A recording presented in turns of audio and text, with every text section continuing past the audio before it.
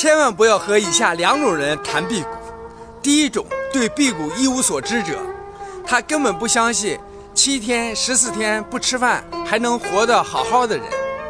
第二种就是不信任你的人他连你都不信任跟他讲辟谷等于天方夜谭。我们的原则是不勉强不争论不辩解。